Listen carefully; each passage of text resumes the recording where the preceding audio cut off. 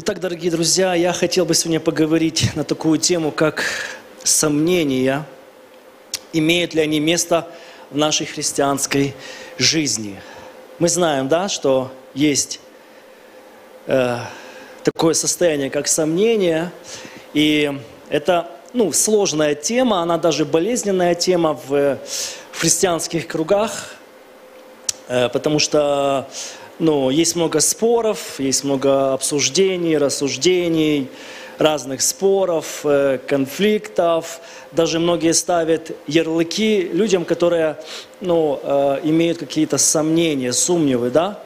Э, якобы в том, что у тебя мало веры, о том, что тебе нужно как-то больше познавать Бога и так далее. Но давайте мы посмотрим, что об этом говорит э, Священное Писание? О сомнениях, поощряет ли или называет ли это грехом, э, как мне с этим бороться? И где мне нужно сомневаться, а где, а где не нужно.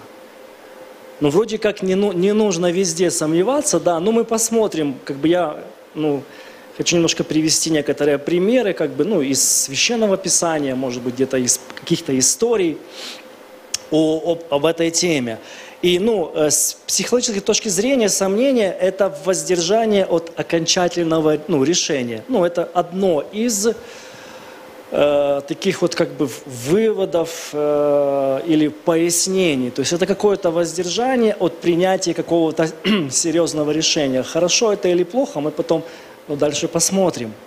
А, однозначно Священное Писание, если мы читаем, оно не, ну, не поощряет э, как бы такое состояние или тему сомнений. Ну, мы сейчас приведем, да, то есть мы сразу, сразу же воз, приходит на ум там, послание Иакова, да, то есть, ну, и как бы оно не совсем как бы поощряет. Ну, давайте мы откроем Иакова, 1 глава, 5-7 стих.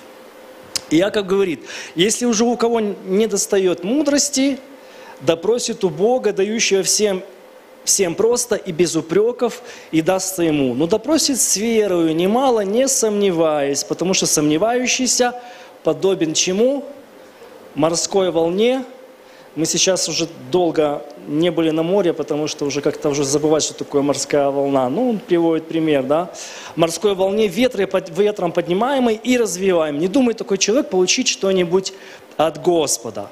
А, также в Луки Ишуа говорит, 12 э, глава, с 28 стиха, «Если же траву на поле, которая сегодня будет сегодня есть, а завтра будет брошена в печь, Бог так одевает, то коль мы паче вас мало веры, и так не ищите, что вам есть и что пить, и не беспокойтесь». То есть, да, ну как бы не сомневайтесь, Бог о вас позаботится, Бог позаботится о вашей жизни. То есть вам не нужно ни о чем как бы беспокоиться, потому что ну, есть Господь, который позаботится. Да? И а, мы знаем историю, когда Ишуа усмирил бурю, да, то есть началась буря, ученики были в панике, начали кричать, начали, э, ну я думаю, что у них появились мысли, что все, все пропало, сейчас все пойдем ко дну. Ну, иногда бывают такие моменты в жизни, когда какие-то ситуации возникают сложные, то э, думаешь, ну все, это, это, уже, это уже конец.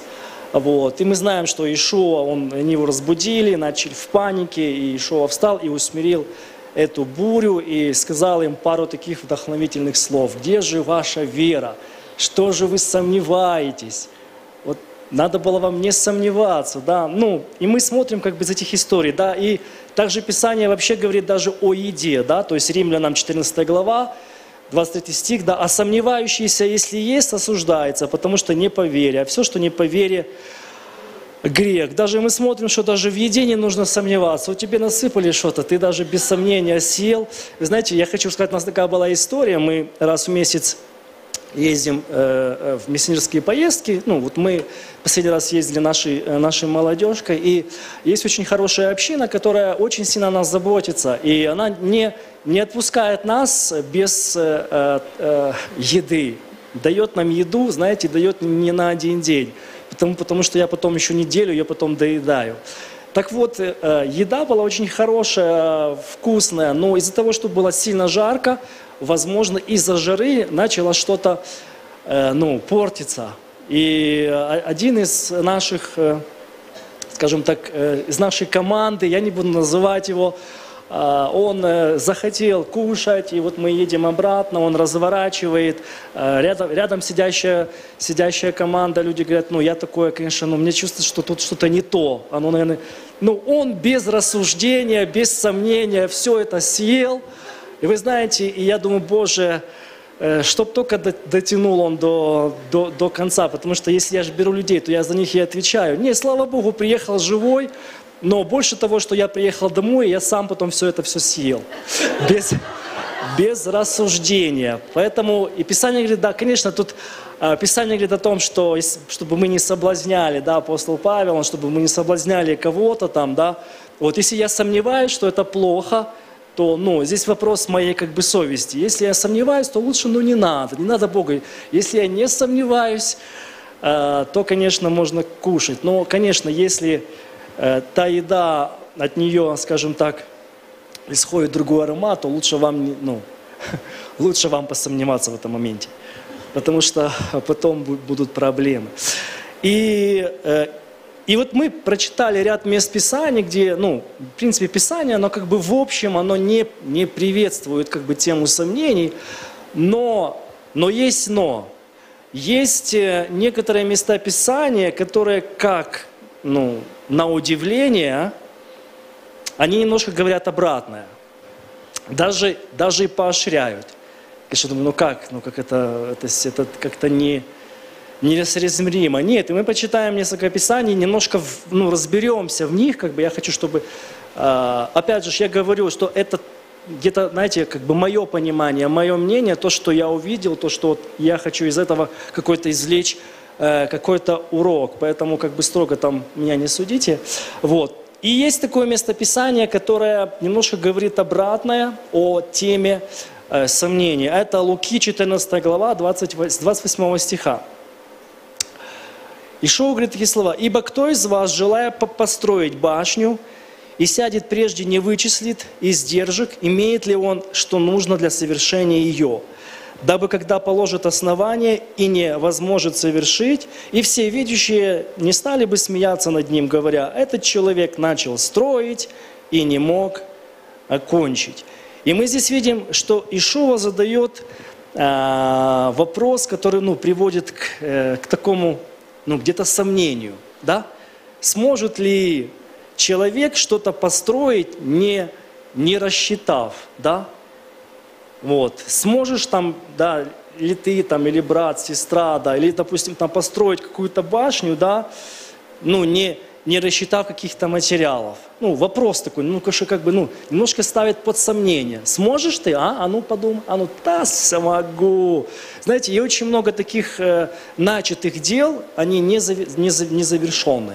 То есть с большим энтузиазмом это все как бы начиналось, Э, все будет хорошо, все будет чудесно, и очень много таких зависших э, строений, построек, они просто не завершены из-за того, что не было, не было правильного подсчета. Конечно же, Ишува, он здесь именно говорит, именно в контексте этого Писания, он говорит именно за следование за ним.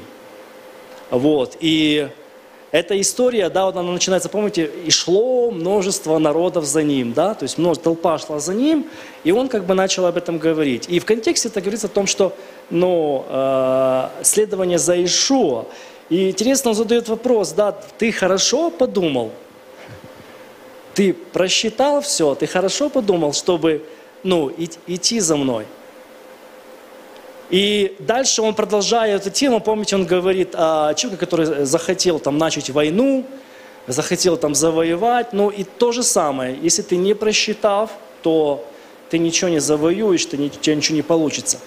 И хочу подчеркнуть снова, что Ишуа, он говорит именно из этой истории следования за ним – Потому что его окружали многие э, люди, э, толпа была, даже были ученики. И мы знаем по истории, что все, кто его окружал, но впоследствии дороги они просто расходились. Что-то что не поняли, что-то ну, подумали, что все будет хорошо, все будет замечательно, все будет э, классно. Но в итоге мы видим, что даже ученики, они, ну, они расходились. И о чем я хочу сказать? Я не хочу поставить под сомнение подсумнивы, что э, прежде чем идти за Богом, надо просто полжизни подумать, а стоит, не стоит. Нет, вы знаете, я скажу, идти за Богом – это здорово. Э, это да, это не совсем легко, но это того стоит. Я немножко хочу чуть о другом говорить. Да? И исходя из этого вопроса, Ишуа к ученикам, он задает тоже такой вопрос, да, чтобы ну, ты хорошо подумал, ты хорошо принял решение, ну, пойдешь ты за ним, за мной или не пойдешь. И это, это, это такой вот важный как бы момент. Вот.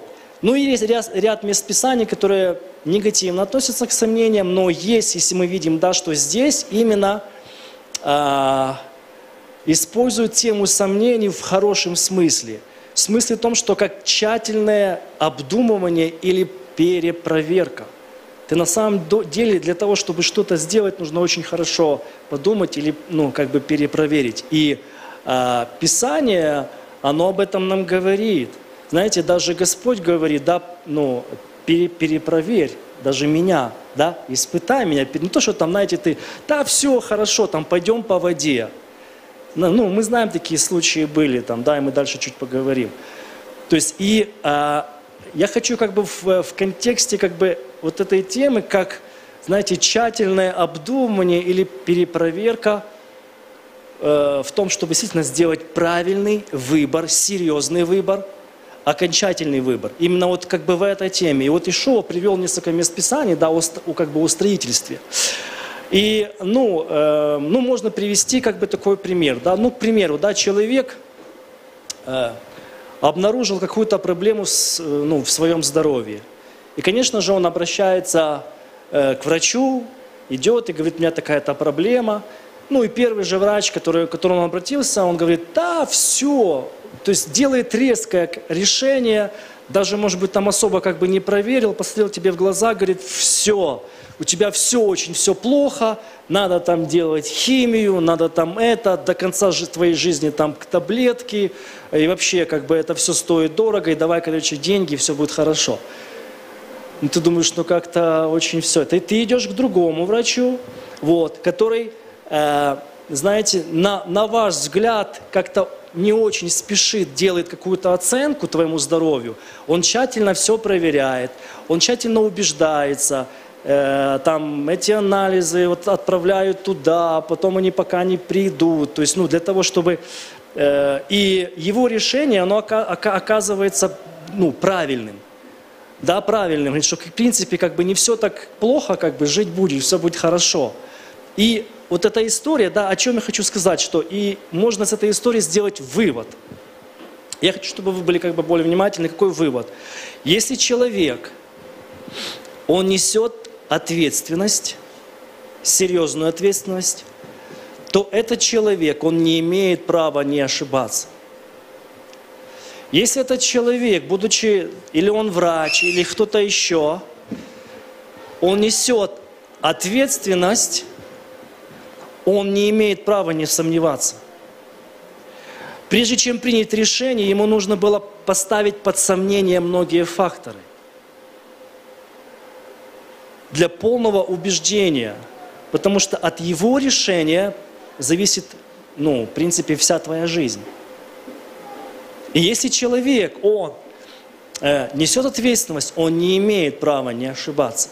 И это нормально, когда ты, да, или, или тот человек, он ставит под сомнение некоторые вещи, чтобы полностью убедиться, да, действительно ли это так или нет –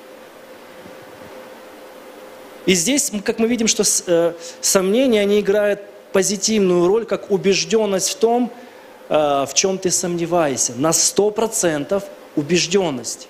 Потому что нельзя так сказать, да, ладно, там все, там, на тебе, э, знаете, как история, да, два человека попросили у, у доктора, то есть у одного болела голова, да, у другого живот и дайте нам как бы, ну, таблетку. Он дает одну, говорит, а у меня живот, говорит, это вы поделитесь просто, ну, то есть, она как-то, видите, универсальная.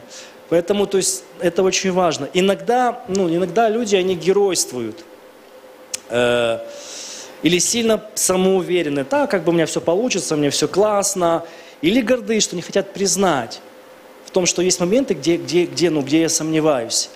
Вот. Ну, чтобы как бы не упасть там в грязь. Знаете, это рана, которая болит у тебя, и ты говоришь, да не, как бы все нормально, ничего как бы, ничего страшного. Нет, она болит, и нужно в этом признаться.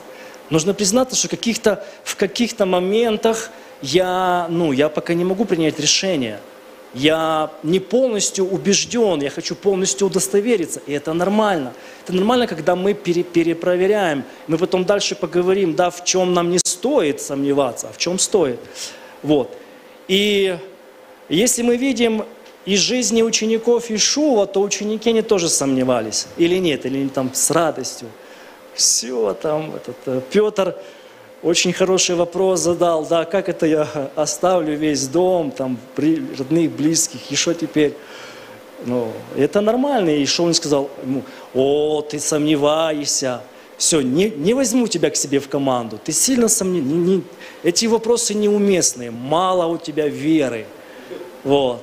Но Ишова, он спокойно, любя, он отвечал Петру, успокаивая его. Конечно, не, не говоря, с какими сложностями он встретится, потому что ну, я, э, это, это ни к чему. Есть вещи, которые мы должны знать, есть вещи, которые мы не должны знать. И, ну, нормально, как бы, да. Вот. И он говорит о том, что э, пойдешь за мной, у тебя будет в сто раз больше. О, ну, все точно пойду. Здесь он уже без рассуждения. Здесь уже он без рассуждений. Но иногда люди говорят, слушай, приди к Господу, у тебя все изменится, все будет круто, все будет классно. А, да, серьезно. И бизнес, и деньги, и все. О, все, пойду, хорошо. Ну, иногда такое бывает, но э, иногда бывает немножечко это растянуто вся эта тема. Но тем не менее, мы смотрим, что ученики, они тоже сомневались. Тот же Петр задавал интересные вопросы. Фома, он, конечно, до конца жизни сомневался но он так и остался э, учеником Ишуа. И мы знаете, знаете, э, то есть история Фомы, да, то, что он потом стал очень успешным и истинно сильным учеником. Он проповедовал, если не ошибаюсь, в Индии, как бы, да, принес Слово Божие как бы в Индию по, по истории. Так что, ну, как бы Ишова, он не, не, не отверг его, даже он всю жизнь ходил, и это ныл, ныл, не верю, не верю, не верю, не верю. Вот.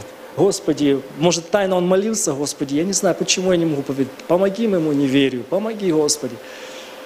Но в какой-то момент его жизнь изменилась, и он поверил. А Маше, он тоже сомневался, да, когда Бог призвал его идти а, освобождать Египет. Было бы странно, если бы он сказал, да, Господи, пойду сейчас, да. Но он отговаривался, Боже, я не пойду. Кто такой я? Один, со всеми своими потрохами, недостатками, пойду сражаться с, э, с могущественной э, ну, как бы страной, как Египет, да, то есть с могущественной империей, ну, я я, я не понимаю, как это. Поэтому всех этих людей, всех этих библейских героев сопровождало такое состояние, как э, сомнений. Я просто к чему говорю, потому что хочу, чтобы мы не боялись этого слова. Иногда мы боимся, иногда мы сразу же, знаете, выводим какие-то вердикты и говорим, да, у тебя мало веры, ты сомневаешься, вот ты подобен морской волне, развиваем, поднимаем, и вообще как бы с тобой, с тобой как бы нету никакого вообще шанса, ты вот, э, э, значит, мы тебя не возьмем там э, в этот вот, э, э, как это говорят, мы тебя не возьмем там в разведку, ты там сразу же и упадешь, и засомневаешься, убежишь. Все. Нет, нет э, это, э, оно присуще в жизни, э, ну, именно в правильном, как бы, в правильном понимании. Поэтому не нужно как бы этого бояться. И я думаю, что это не грех в этой степени, это лишь ответственность за принятие решения. И множество христиан не сомневаются. Ну, вот я думаю, что если бы, допустим, мы провели бы опрос бы, но я не думаю, чтобы все бы сказали, да не, все сто процентов мы это. Я думаю, что я тоже сомневаюсь. Я даже вообще сомневаюсь, что здесь стою, и, может быть, это слово, да я шучу.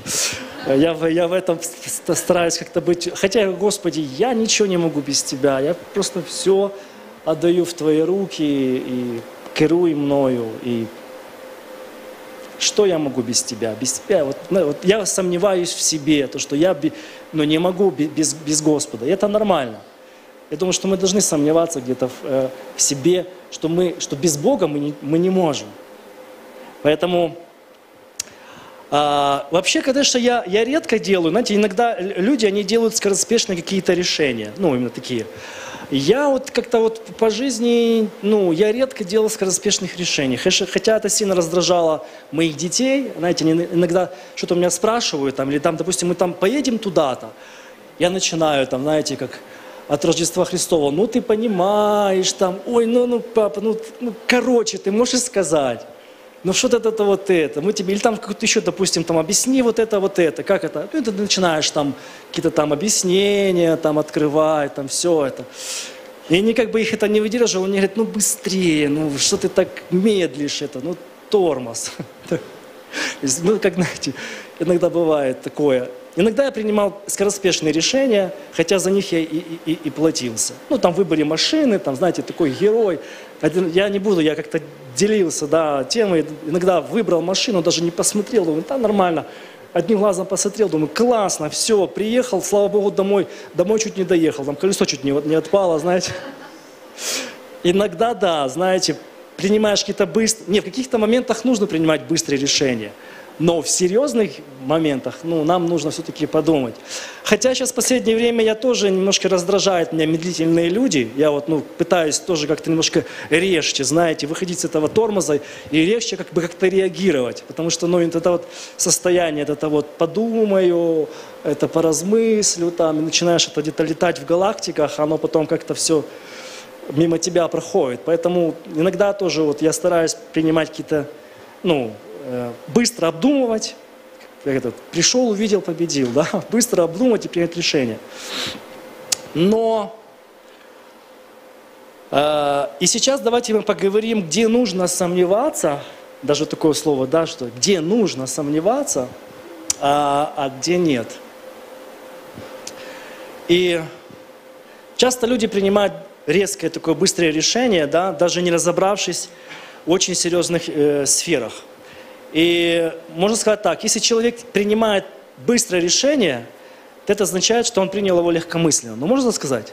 Ну, быстрое решение. Просто раз принял быстрое решение, значит, можно сказать, что легкомысленно. Ну, к примеру, да, то есть э, подходит парень к девушке и говорит, слушай, ты мне нравишься, э, женись на мне. А девушка говорит, да как бы без проблем. Да, ну, сказал, значит, без... Но я думаю, что это какой-то, ну, да, вот как-то, ну, так, ну, легкомысленно, да, то есть, ну, тут человека видит, может быть, первый или второй раз в жизни, как бы, да, то есть и так, знаешь, не узнать, кто он, что он, э, ну, много, много, много нужно как бы узнать для того, а тем более вопрос как бы в, в отношениях, в совместном союзе, не хочу сказать в браке, э, это, ну, как бы серьезное решение, оно требует тщательного ну, как бы обдуманно, не сказать так, да, без проблем, как бы, да. То есть я понимаю, что есть любовь с первого взгляда, там увидел, и все, и, и все. Но я... Это, это, будет очень скороспешное решение. Вот. Поэтому, если девушка скажет этому парню э, чуть-чуть другу, другими словами, знаете, все-таки подумать и сказать, а ты уверен, что ты сделаешь меня счастливой? Я думаю, конечно, парень скажет, да слушай, тебе что, мало веры? Что ты сомневаешься? Те, что мало веры, а ты это, поживем, увидим. Не, спасибо. Поэтому, а вообще интересный момент, когда вам такие вещи предлагают, знаете, иногда такие вещи, когда предлагают, всегда, ну, я, я как парень, да, то есть всегда хочется показать все свои хорошие стороны, да, то есть ты расправляешь крылья, то есть, и, вот. Но на самом деле нужно, я, я так думаю, ну, это как э, такое, Нужно обычно говорить так, э, я сначала расскажу все свои э, плохие стороны, а потом посмотрим. Там, не знаю, по ночам там храплю сильно, там еще что-то, но я тогда. Если этот парень после этих всех моментов, он все-таки все-таки не отступит, то я думаю, стоит задуматься. Но опять же, не принимать резких решений. Поэтому, то есть человек, который принимает резкие решения, это ну, легкомысленно. Ну, к примеру, там, Человеку предложили какое-то служение, там будешь, допустим, там, э, там пастором. Да, буду, Господь же сказал, это великое благое дело, это все классно, ты что, это же надо служить Богу или так далее и тому подобное. Но Ты понимаешь, какая это ответственность? Вообще, а есть ли в этом воля Божья? А потяну ли я это? Э, действительно, нравится ли мне это, ну, мне это? Или вообще, ну, есть ли у меня это как бы сердце от Бога именно, ну, как бы заниматься этим делом, знаете? И иногда я читал в одной книге, это был реальный пример, как э, одни миссионеры вот таким быстрым решением – короче, решили поехать служить. Я не знаете как, вот просто вбирали карту, это не наполненные Святым Духом, знаете, живя по только одному откровению, ничего не понимая, брали просто карту, так вот закрыли, нажимали, ну, карты ставили на какое-то место, и вот какое место попадется, туда они и ехали. Ну вот как-то вот они решили так поехать, попались. Это была реальная история, вот я э, читал одну книгу, и вот попал там какое-то, там, допустим, там место, остров, и они, они еле туда добрались до этого острова. Очень была тяжелая дорога, добрались, а для того, чтобы туда еще ну, доплыть, там, ну, это же как бы остров, и э, там нужно быть этот, э, ну, переправа. И вот они сели на переправу, заплатили как бы деньги, такие довольные. И вот переправщик их спрашивает, ну куда же вы, куда же мы едем там благовествовать людям Слово Божие, Господь нам открыл, показал. Он говорит, ну говорит, это хорошее говорит, дело, очень благое, хорошее дело, только это единственная проблема. И такие, какая? Там ведь людей нету. Знаете, поэтому иногда такие моменты, знаете, скороспешные, ты что-то принимаешь, как бы, да, идешь, а там, ну, там, там кроме этих жучков, там, пауков, ничего нету. Это то же самое, знаете, как есть э, люди, которые методом, знаете, тыка там, да, Господи, что мне делать в этой ситуации, как мне, что мне принять серьезно, хочу принять серьезное решение. Открываешь Библию, тыкаешь пальцем, а там попадаешь на место Писания, да, Иуда пошел и утопился, да, и вот, удавился, думаю, Господи. Поэтому надо этих вещей нужно избегать. То есть все Господь дал рассудительность, э, обдумывание и так далее. Если очень много принимают там в учебе, да, да, пойду там не знаю, учиться там на программиста, там, да, то есть там, ну, а, а хочется ли тебе, ну, тут, туда меня не взяли, пойду сюда, ну, куда возьмут, знаете, я иногда бывает, а куда ты, ну, куда возьмут, куда возьмут. Знаете, в моем как бы случае действия как бы особо меня ну, как бы не направляли, не говорили. Вот я так и думал, вот куда возьму, туда и пойду. Я, у меня была хорошая самооценка, я со своими оценками пошел в море. Я хотел очень, ну скажем так, быть э, мореплавателем. Э, и когда я пришел туда, там на меня посмотрели э, и, конечно, очень культурно показали мне выход, где выход, и все. Ну, не взяли меня в, в морское там училище там, или куда-то я хотел, я пошел туда уже, куда, куда берут. И вот иногда делаешь, да ладно, там этот, э, сделаю, там, пойду там учиться на этого, да ладно, там, выйду замуж, там, да ладно, там, женюсь, там, да ладно, возьму это служение, как бы, знаешь, ну, так это не делается. И вот в этом моменте очень полезно немножечко посомневаться. Конечно, не растянуть это на, на долгие-долгие годы. Я не говорю о том, что, знаете, там это бывает, ты затягиваешь долгий ящик, и оно потом мимо тебя проходит. Нет. Какое-то время, как Ишуа сказал вам, он задал именно этот момент, как я вижу, он такой, он поставил его под сомнение, сможет ли человек, не подсчитав, построить не, не рассчитав свои силы, не рассчитав свои возможности. Я знаю, в жизни был один проект, когда мы только э, еще, ну, не в начале пути, это была идея старшего как бы пастора, хорошая идея, благая идея, помогать людям, э, построить, агро, агро, ну, э, то есть помочь людям в работе, построить ну, как бы большой бизнес, грибницу.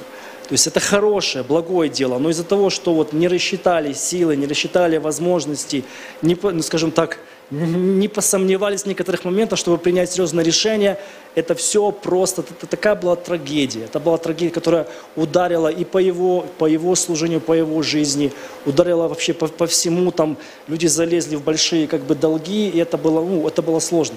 Да, Господь, Он все потом может исправить, но, но ну, была трагедия. Поэтому очень важно, ну, вот в этих моментах рассчитать и свои силы, и, и свои возможности, и ресурсы, и сделать правильное э, решение.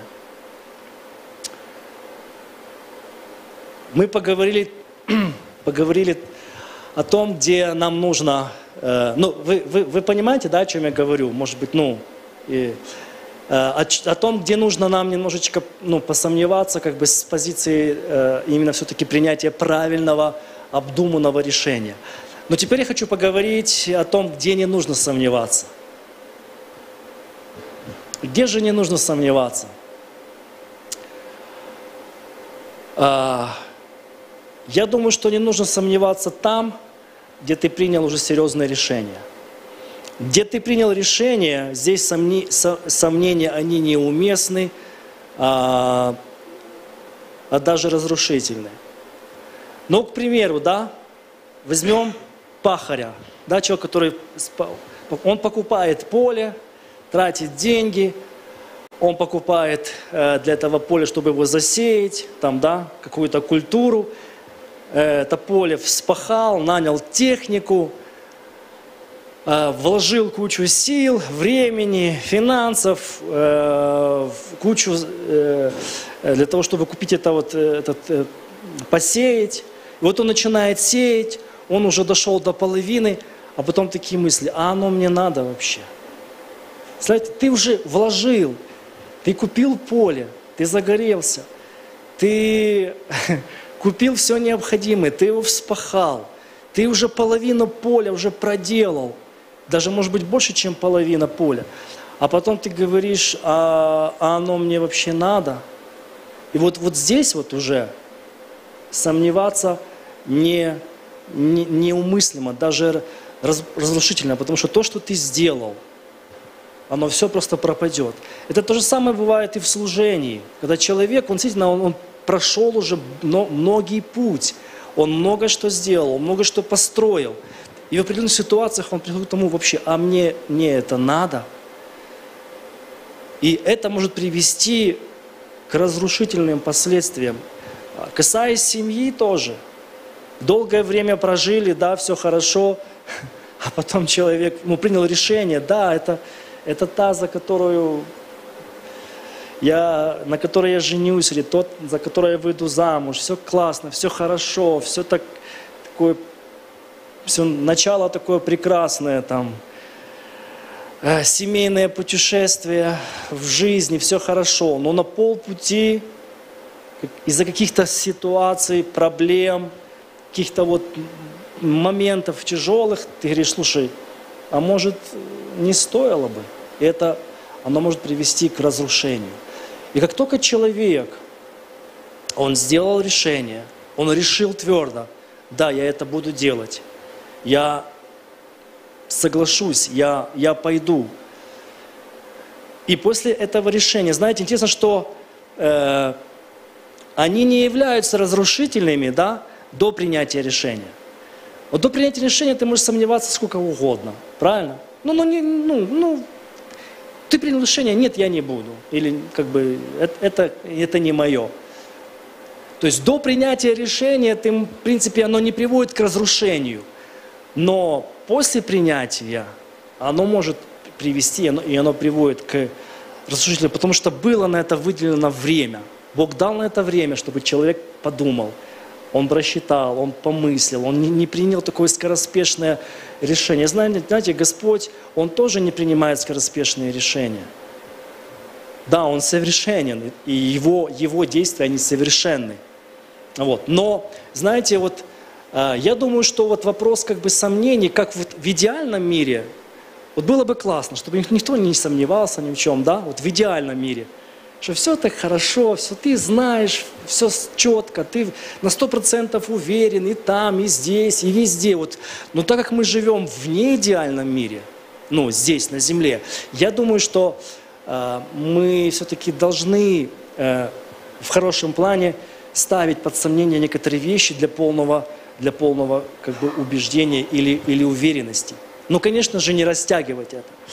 И Экклесиаст, он говорит такие слова, 5 глава, 4 стих, да, что лучше тебе не обещать, нежели обещать не исполнить. И вы знаете, тут как бы вопрос такой, э, и человек иногда, вот иногда он не принимает решения, потому что он понимает, насколько это будет, возможно, сложно, это будет тяжело и так далее и тому подобное. Вы знаете, нельзя сказать, что сомнения уже вот в этом плане, где, где их не, нельзя использовать, и то, о чем говорит Писание, после принятия решения. Нельзя сказать, что после принятия решения они не будут, не будут приходить в нашу жизнь. Они будут приходить. И они уже будут как вызовы, с которыми ну, мы сталкиваемся. И с этими вызовами э, сталкивался любой библейский герой. Э, каждый библейский герой, он знал, к чему Бог призывает. Он понимал, к чему Бог призывает. И, но достичь этого, этого было ну, непросто, нелегко.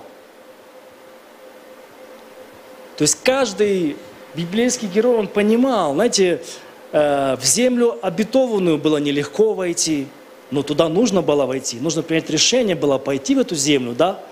Апостолу э, э, Павлу нелегко было проповедовать язычникам, потому что мы знаем историю, что иногда его проповеди заканчивались тем, что Э, он еле-еле уносил оттуда ноги, потому что, да, то есть, ну, он платился, он понимал, да, что Бог его призвал, но исполнить это призвание не совсем как бы, но он сделал решение это сделать. И тут уже отступать назад, я думаю, что мы уже не, ну, не имеем, э, не имеем, не имеем права. А, нелегко было ученикам нести благую весть в еврейской культуре, потому что, ну, это нелегко было, но они это делали. И что с этим делать? Я думаю, что вот с этим теперь нужно уже разбираться. Как разбираться? Ну,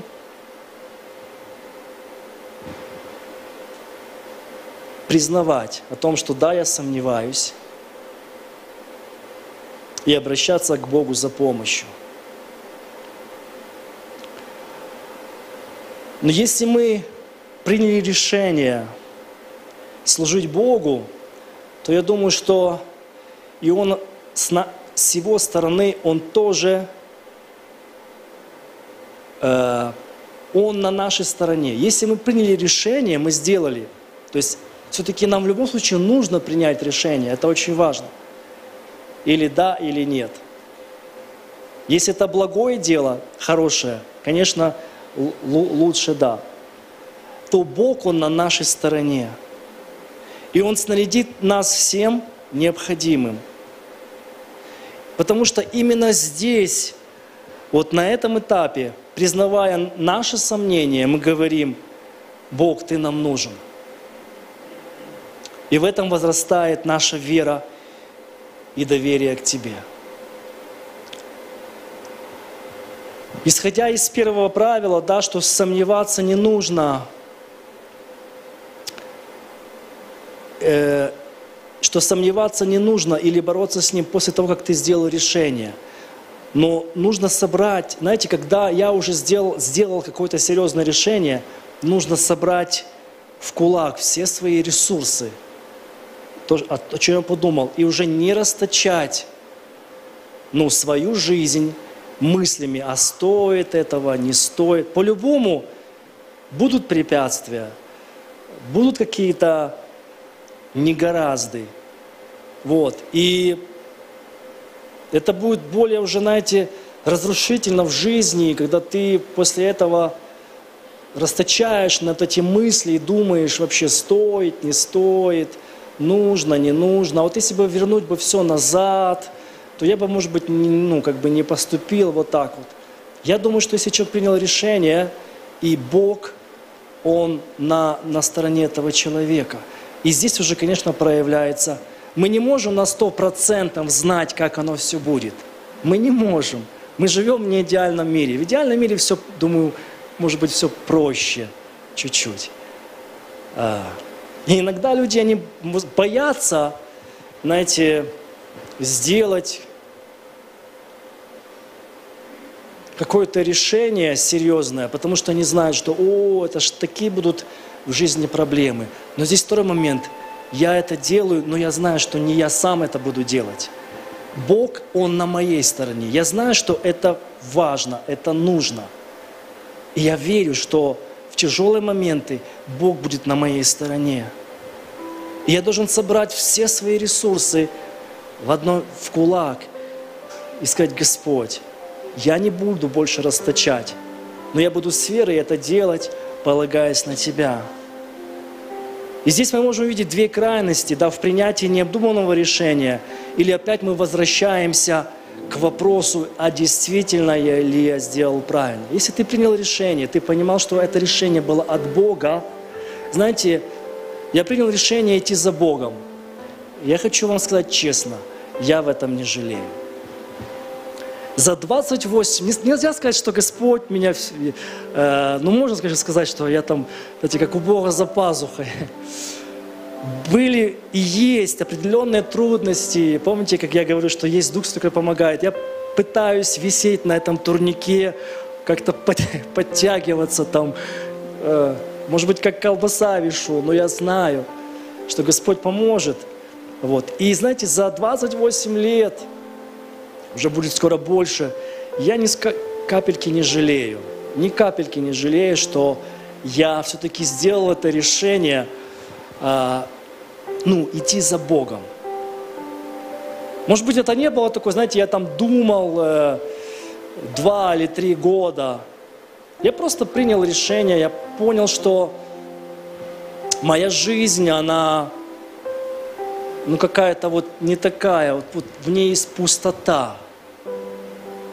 Э, в тот момент э, все мои друзья, как бы, они разбежались, а, э, не было ни работы, ничего не было. Это 97-96 год, и не знаю, были ли у меня тогда мысли, правильно ли я делаю. Я, помните, я делился о том, что я просто восхищался, я удивлялся, думаю, как это я стал верующим. Ну так это ж, наверное, здорово. Но я хочу сказать, за 28, ну, скоро будет 29 лет, я ни капельки не жалею о том, что я сделал этот выбор.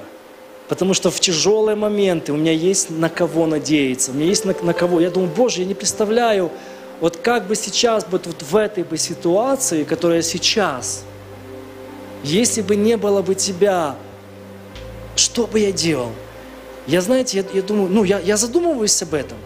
Я думаю, Боже, я бы, наверное, сошел бы с ума. Я бы не знаю, ну, что бы я, может, ну, что бы я делал бы, вот, находясь, я думаю, что каждый из вас находится в какой-то вот, может быть, ситуации сложной или и вот я, я задаю эти вопросы, думаю, Боже, а что бы я сделал бы без Тебя, когда иногда ты приходишь, никого нет рядом. Не, ну есть у меня собачка, она всегда мне, мне рядом. Вот. И думаешь, Боже, ну, ну вот да, сейчас такое как бы вот передумал, что, вот, что бы я делал бы? Думаю, ну, можно, конечно, я бы, ну, ну занимался бы на каким-то, знаете, как люди в этом мире пытаются как-то отвлечься. Но отвлечься по-нормальному не получается. Не получается. Это, это, это были бы греховные бы отвлеч, отвлечения и так далее и подобное. Но теперь ты приходишь к Богу, ты рассказываешь Ему, ты общаешься, ты слышишь, какой-то сверхъестественный мир приходит в твое сердце, какое-то слово, что все будет хорошо, я тебя... думаю, Боже, настолько это здорово.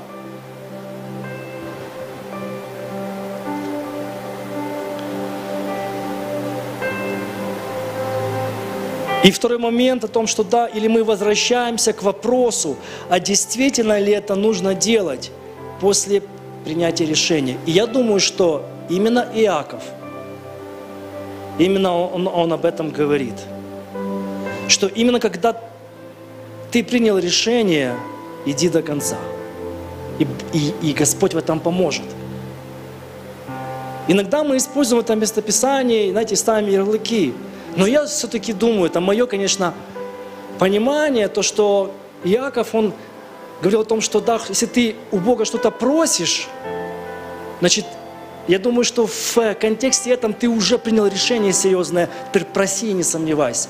Раз ты принял решение идти, иди и не сомневайся, потому что Господь, Он поможет, Он поддержит.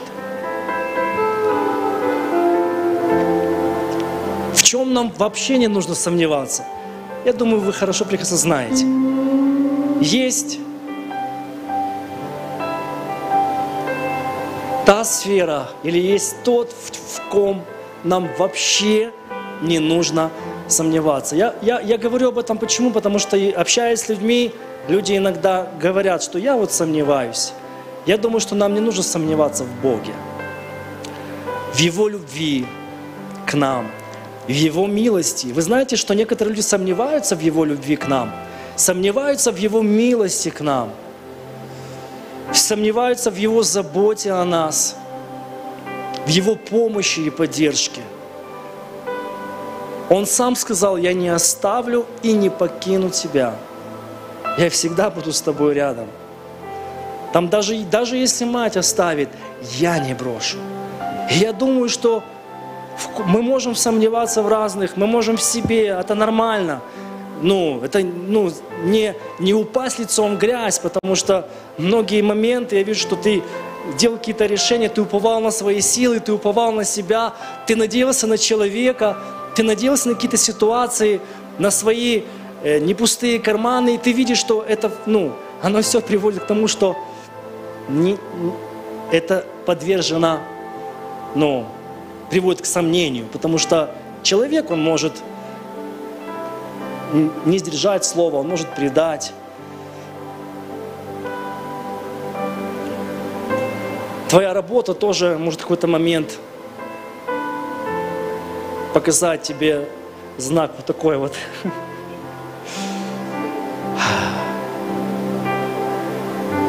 Твоя уверенность, твоя сила, что я могу, я смогу, она тоже может подвести тебя.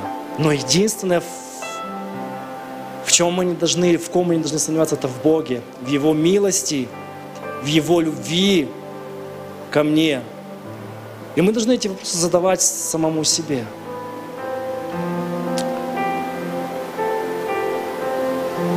Я хочу рассказать одну историю, я ее прочитал тоже в одной книге.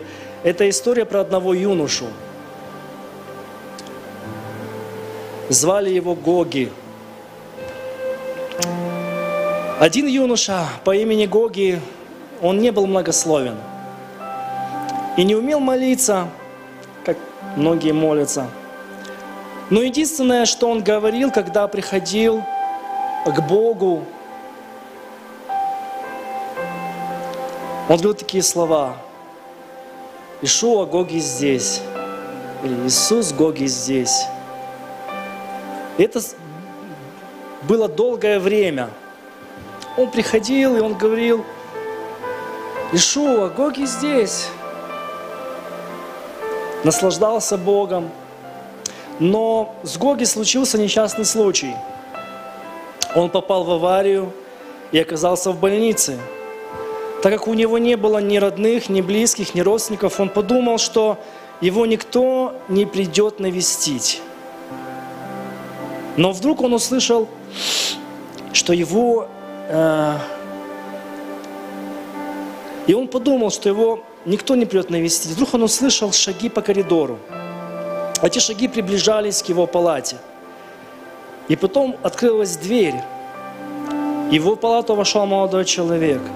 И знаете, что он сказал? Гоги, Ишуа здесь. Он обещал быть с нами всегда рядом. И в этом не нужно сомневаться. Мы сейчас, каждый из нас, наша страна, очень много людей, не только людей, которые не знающие Бога, и среди веру, верующего народа. Люди опустили руки из этой бессмысленной войны, которая постигла наш народ, нашу страну. И многие люди сомневаются, задают, мы ездим и задаем вопросы. Люди, конечно, благодарят, но в их глазах ты чувствуешь эти слова, почему? Где же Бог? Он же ж может. И люди разочаровываются в том, что Бог что-то может изменить, в том, что Он рядом. И вы знаете, события, которые происходят, ты где-то замечаешь мельком, что ты тоже иногда бывает, думаешь, Боже, но, но почему это случилось? Почему? Есть много вопросов, на которых нет ответа. Но я думаю, что в этот момент единственное, что просто нужно знать, даже если, как Гогит, мы попали в какую-то аварию, и мы знаем, что уже все отказались, никто не сможет нам помочь. Никто. Но в какой-то момент он услышал эти слова о том, что дорогой мой брат, дорогая сестра, Ишуа здесь.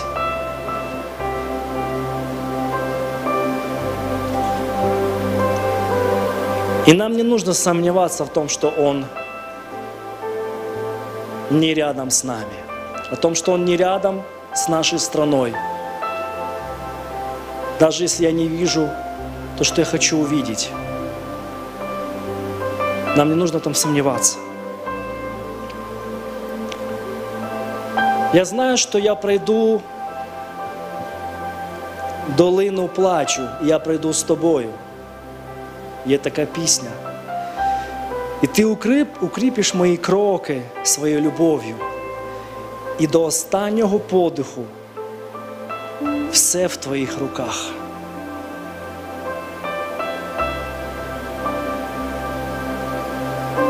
Мы не должны в этом сомневаться. Даже если мы сделали решение, мы сделали выбор идти за Богом, мы не должны в этом сомне- не должны сомневаться. Бог, Он поддержит нас. Он даст нам силы. И на протяжении всей своей жизни я сталкивался с разными ситуациями. Думаю, что вы больше сталкивались.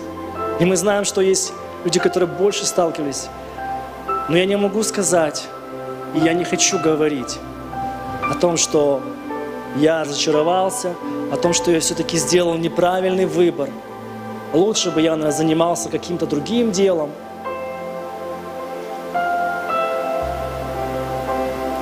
Единственное, что я могу сказать, что, Боже, как было бы лучше, чтобы я еще раньше пришел к Тебе.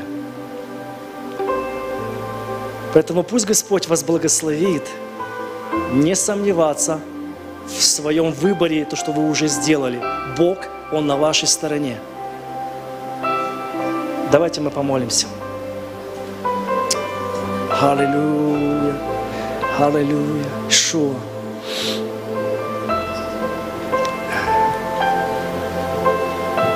Господи, ми дякуємо Тобі за цей час.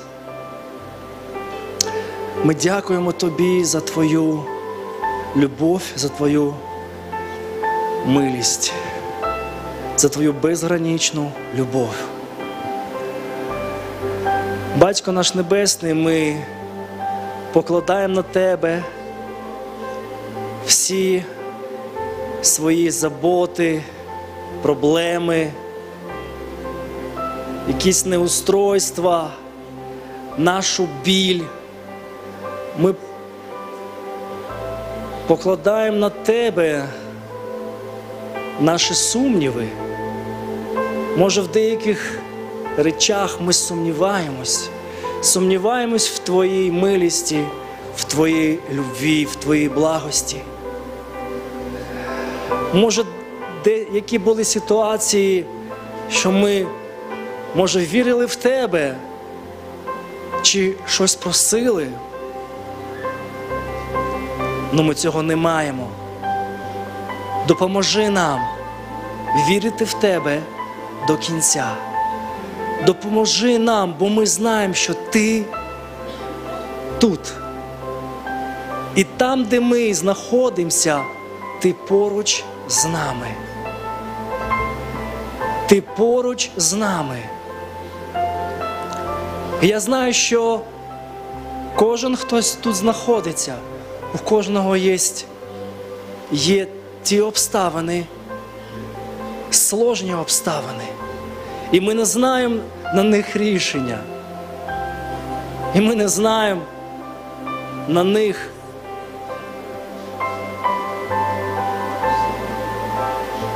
якогось рішення. Но ми зараз покладаємо на тебе. Ми покладаємо на тебе ті обставини, тому що ми зробили вибір іти за тобою. Ми зробили цей вибір, цей крок, іти за тобою. І сказали: Да, Господи, ось я. Я тут. Ішуа, я тут. І я зробив цей вибір, тому що я довіряю тобі своє життя, я довіряю тобі своє служіння, я довіряю тобі всі обставини, я довіряю тобі там, де є багато питань, де є багато вопросів. Я довіряю тобі. Там, де я не знаю відповіді, я теж довіряю тобі. Я довіряю тобі свою сім'ю, я довіряю тобі своє служіння, я довіряю тобі своє життя, я довіряю тобі своїх дітей внуків. Я довіряю тобі, нашу країну, цих людей, які страждають. Ми довіряємо тобі, Господи. Я довіряю тобі кожен свій крок, кожен свій подих тому що нас розділяє між життям і смертю один подих. І це теж я довіряю Тобі, Господи. Тому що я знаю, тому що я знаю, що Ти кажеш, я тут з тобою.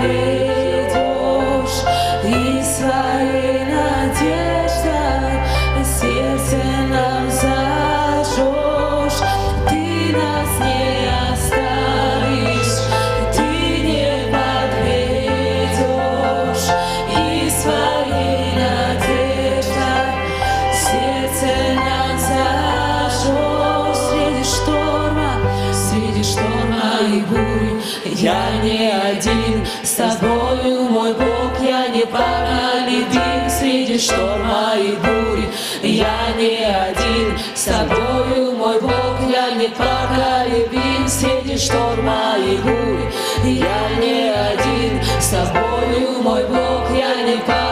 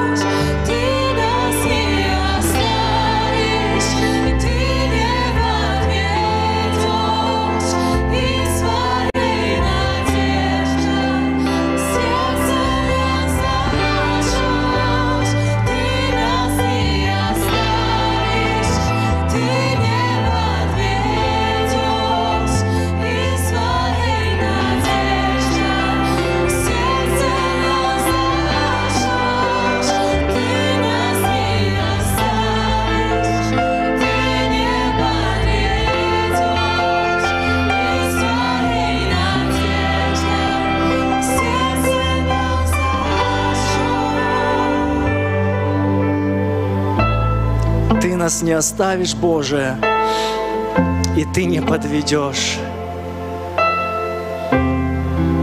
И наше сердце, оно наполняется надеждой к Тебе. В любых обстоятельствах, в любой ситуации. Боже, мы доверяем Тебе. Боже, я молю Тебя, чтобы ни у кого не оскудела вера Твоя. Потому что кто-то проходит очень тяжелые, серьезные обстоятельства в жизни. И мы не знаем ответов. Там, где нет ответов, там есть только доверие Тебе, Господь. Там, где нет ответов, и где мы сомневаемся в чем-то, но мы доверяем Тебе.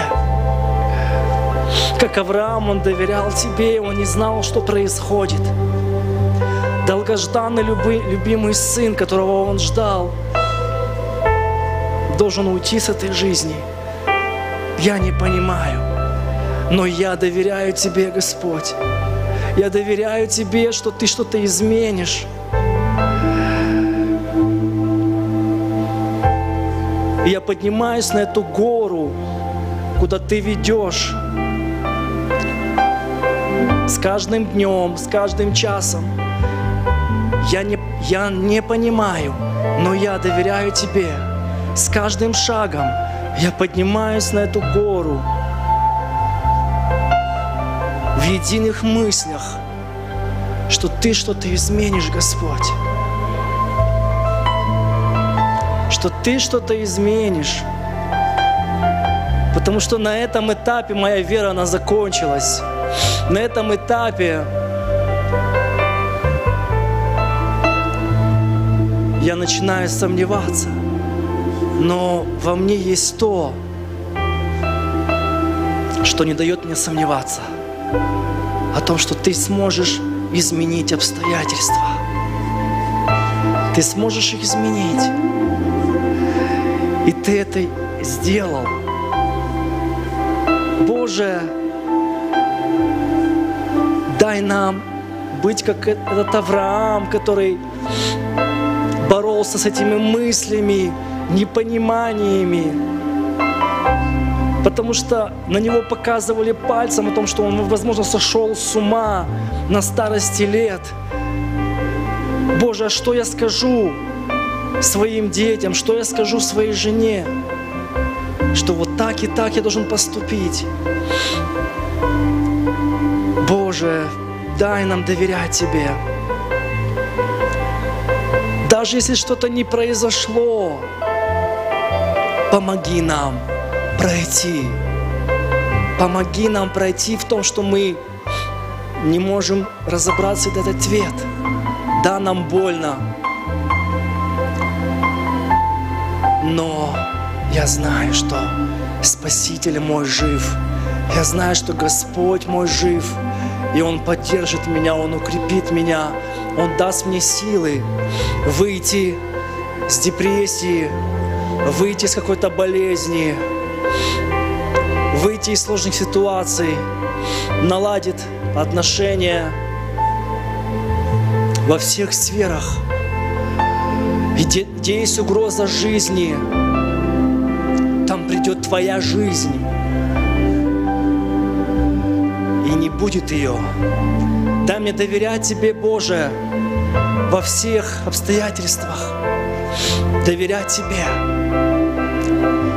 Доверять Тебе.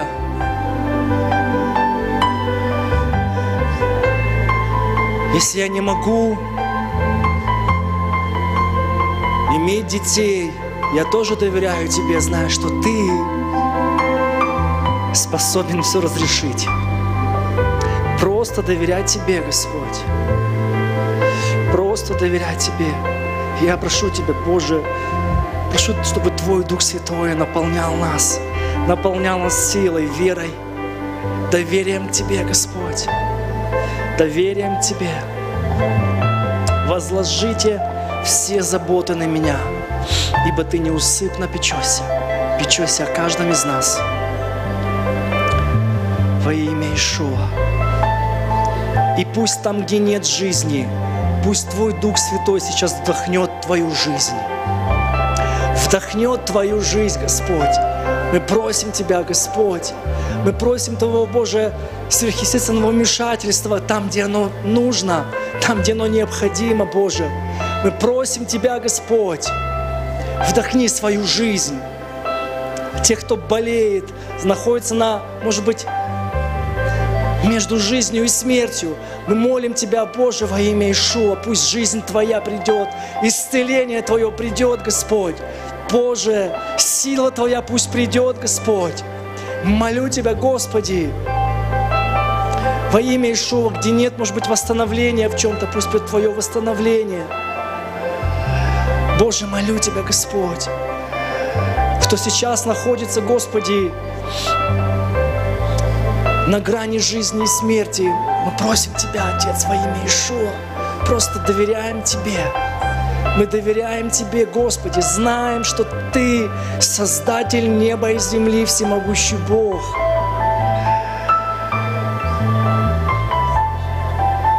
Прикоснись, Боже, как говорили Тебе, если только прикоснешься, если только прикоснешься, скажи лишь только слово, скажи лишь только слово, скажи лишь только слово. И пусть это слово, оно сделает сверхъестественную работу в тех сферах, где мы не уповаем на свои силы, но только на Тебя, Господь. Только на Тебя, Боже. Только на Тебя, Господь. Во имя Ишуа.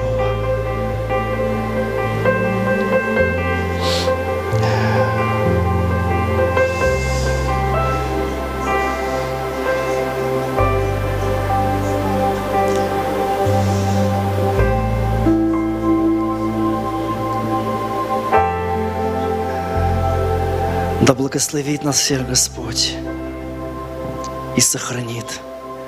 Да презрит Господь светлым своим лицом и помилует нас. Да обратит Господь свое светлое лицо на каждого из нас и дарует нам свой мир, свой шалом, свою уверенность, уверенность в веру, во имя Ишуа. Аминь. Аллилуйя.